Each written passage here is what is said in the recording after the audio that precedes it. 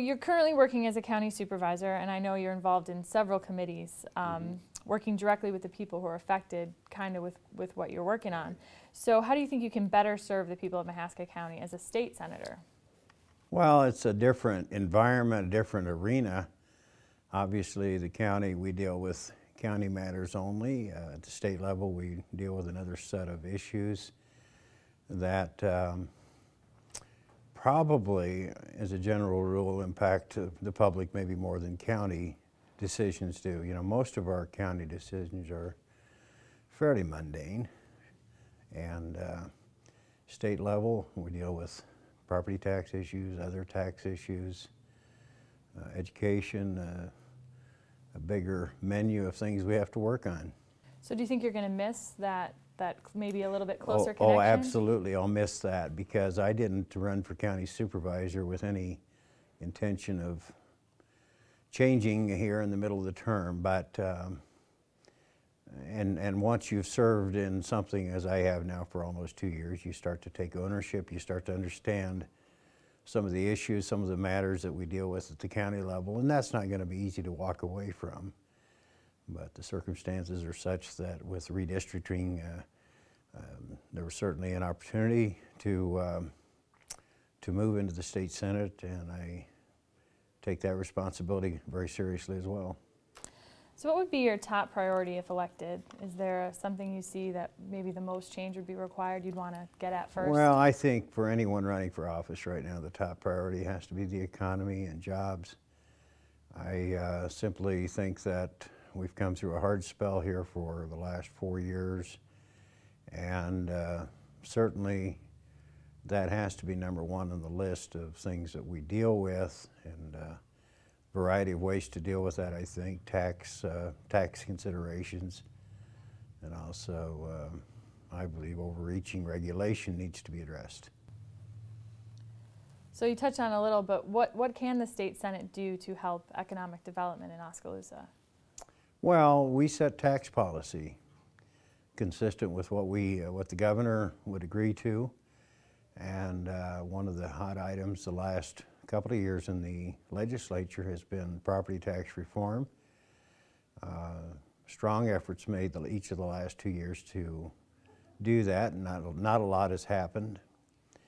I think the governor's on the right track with uh, commercial tax reform, and uh, let's face it, uh, if we don't do something, we're going to have 4% increase in property taxes as far out as the eye can see. And uh, I, I, think that depresses the local economy. It certainly affects people's pocketbooks. So that's a, that will impact everyone in the state, certainly those in Oskaloosa as well. So related to economic development is a, a 63 corridor that's kind of in the works right now. Um, how much state funding, state support do you see that project needing?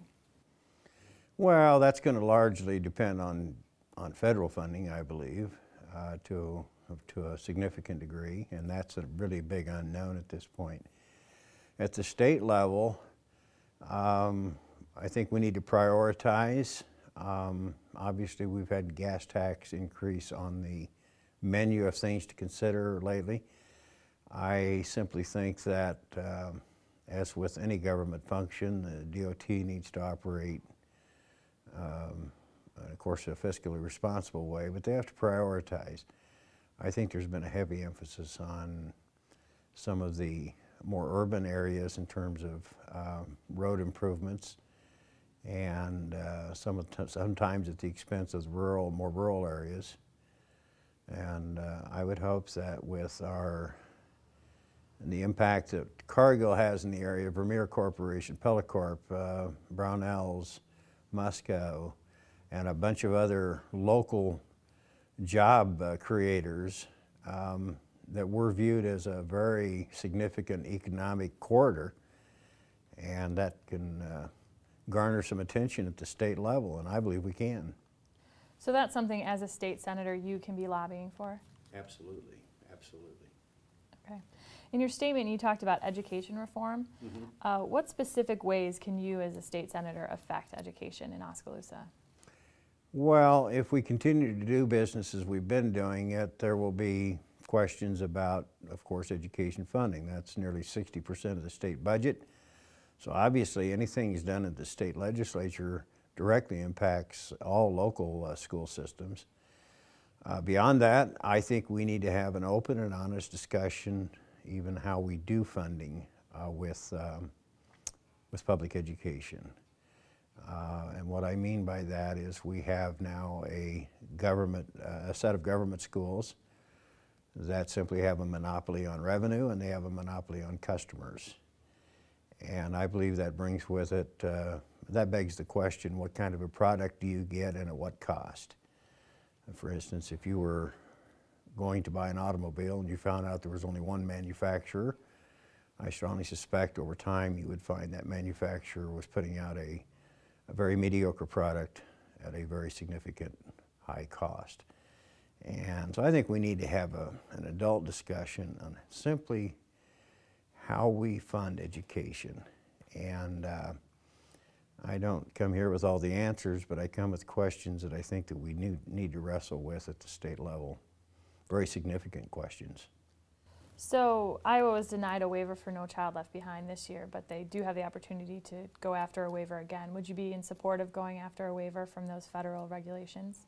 Yes, I, I, I think that's uh, something we certainly need to work toward.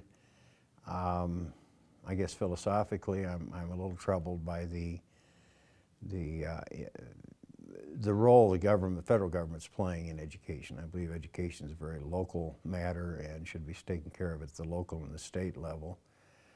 Um, no Child Left Behind has its own set of problems in my mind. So uh, I believe any discussion with about education, uh, at some point we need to deal with really fundamental questions. And of course, meanwhile, while we're in the, uh, we have the set of circumstances we have now, obviously I'll support uh, appropriate funding for uh, all schools, including Oskaloosa and all the other um, district schools. So moving over to agriculture a little bit, if 80% of Mahaska County is farmland, what can the Iowa Senate um, do for area farmers? Well, I don't know that the Senate can do a lot. I think that we can put roadblocks in, front of agriculture by way of overreaching regulation, by way of uh, onerous taxes, burdensome taxes. Um, so government, I don't look to government to provide a lot of uh, of, of, things, a list of things that we can do for farmers. Farmers are doing quite well. We've, we've gone through a good spell here. And even despite a very, very dry year, we've actually grown a pretty remarkable crop. So uh, I gave you an example of regulation with respect to farming. A few years ago, the state legislature enacted a, uh, an inspection bill uh, that required state inspections of electrical work done on farms. And I want to push back against that type of thing. It costs state taxpayers money to fund the program. It causes additional cost and delays to farmers. Significant cost, by the way, and sometimes uh, well over $1,000. And for, for, for what? Uh, I believe that the farmer, his insurance carrier, and his electrician are responsible people, and I think they can deal with that without the state looking over their shoulder. Uh, just to touch a little bit on you personally, mm -hmm. how do you think your skill set, your life experience kind of uniquely qualifies you to be a state senator? Well, I've got a few years on me, as you can tell. I've been in ag business and farming all my life, spent 30 years in ag business, uh, hiring people, uh, creating, trying to help create jobs, trying to be profitable, trying to do budgets. Um, and then more recently as a county supervisor, uh, simply working with local government and uh, interacting also with state and uh, at the state and the federal level. Uh, bring some good experience with it.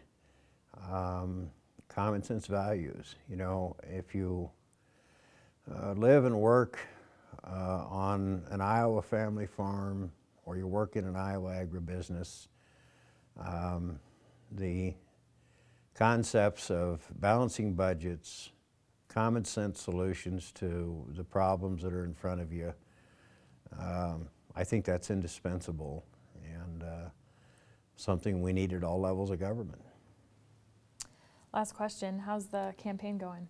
Really good, I think. I, uh, I don't have any numbers, even if I had them, I probably couldn't share them with you. But it's very encouraging. Uh, the feedback I get from uh, uh, people that probably do have some poll numbers to work with. Uh, right now, I'm not aware of any red flags. Um, so I'm very confident that we can, uh, we can get this, uh, this Senate seat and uh, I'm looking forward to serving people in the district.